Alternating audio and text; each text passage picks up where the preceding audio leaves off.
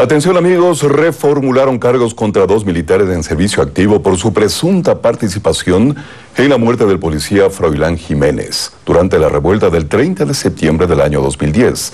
Serán procesados por asesinato.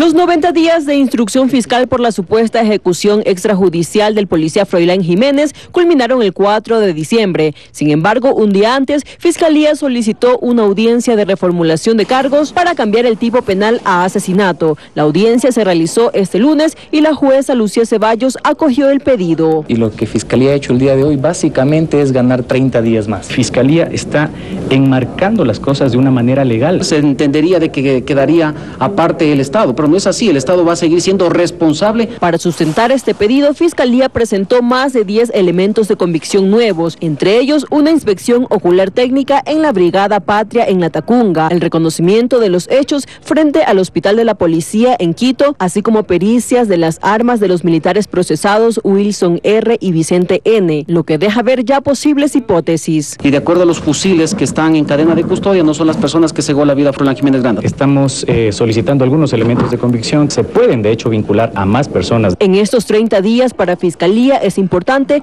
que el gobierno desclasifique un informe del Consejo de Seguridad Nacional sobre los hechos del 30 de septiembre y para la defensa de la familia de Froilán Jiménez que el Ministerio de Defensa entregue la nómina de los militares que participaron en la operación rescate al expresidente Rafael Correa. Mientras tanto, los procesados deberán presentarse cada 15 días y ya no dos veces a la semana ante la Fiscalía. Fabiola Santana, TST Televisión. 九